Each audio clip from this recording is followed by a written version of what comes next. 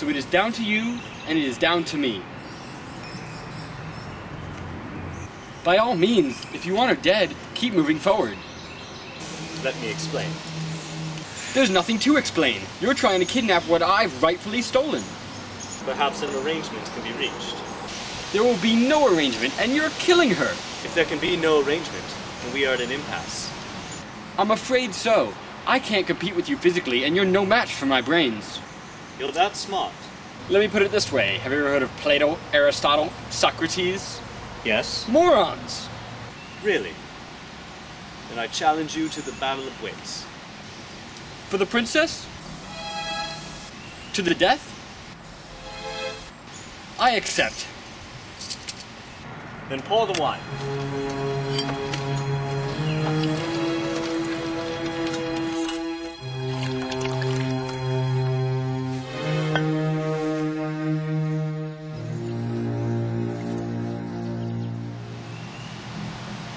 Inhale this, but do not touch.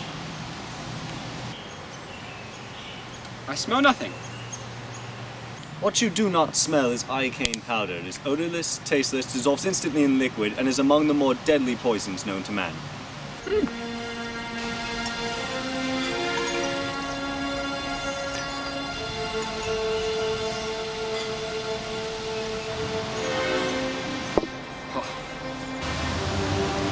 All right.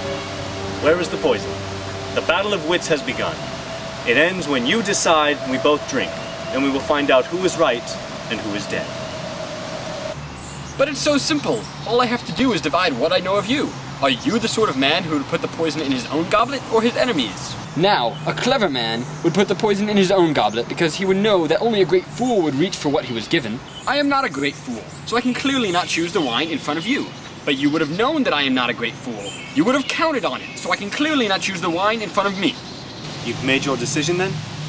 Not remotely. Iocane come from Australia, as everyone knows, and Australia is fully peopled with criminals, and criminals are used to people not trusting them, as I am not trusted by you, so I can clearly not choose the wine in front of you. Truly, you have a dizzying intellect. Wait till I get going! Now, where was I? Australia. Yes, Australia. And you would have suspected that I'd known the power's origins, so I can clearly not choose the wine in front of me. You're just stalling now. You'd like to think that, wouldn't you? You've beaten my giant, which means you're exceptionally strong. So you could have put the poison in your own goblet, trusting on your strength to save you. So I can clearly not choose the wine in front of you. But you've also bested my Spaniard, which means you must have studied. And in studying, you must have learned that man is mortal. So you would put the poison as far away from yourself as possible. So I can clearly not choose the wine in front of me. You're trying to trick me into giving something away. It won't work. It has worked! You've given away everything! I know where the poison is! Then make your choice. I will, and I choose. What in the world would that be? What? Where?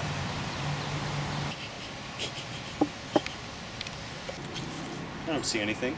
Well, I, I, I could have sworn I saw something. No matter. What's so funny? I'll tell you in a minute. First, let's drink. Me from my glass, and you from yours.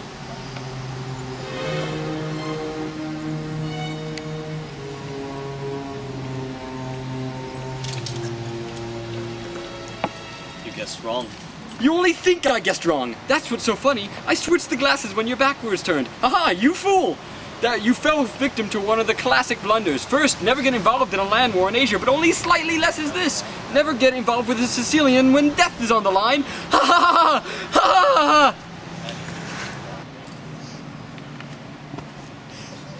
Who are you? I'm no one to be trifled with. That's all you need to know. And to think the poison was in your cup this whole time. I poisoned both glasses. I spent the last few years building an immunity to iocane powder.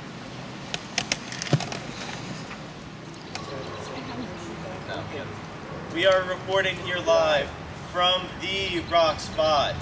We are he, Betsy, Master, and Matthew.